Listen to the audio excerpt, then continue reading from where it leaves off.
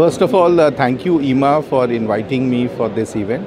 Uh, this is a great platform where uh, the sixth uh, e- uh, initiative of uh, Distribuelec is there.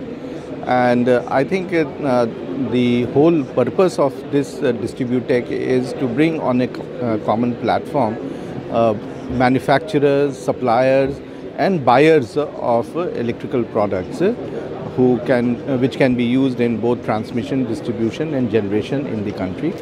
A lot of new initiatives have come up. Uh, I had the privilege of going to some of the stalls and seeing some of the new initiatives, especially in the space of smart metering, smart grid, and how some of the new technologies based on data analytics can help uh, in managing the grid and also giving better reliable service to the consumer. Uh, I strongly believe that uh, this initiative of IEEMA will go a long way in uh, driving the new technologies which can come in the country.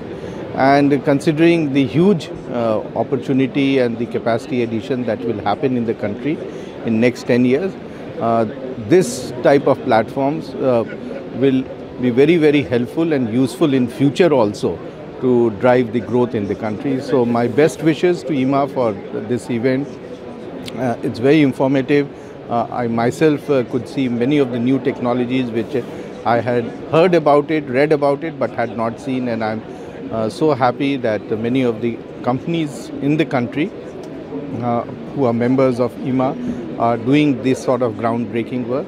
And my best wishes to all of them. Thank you.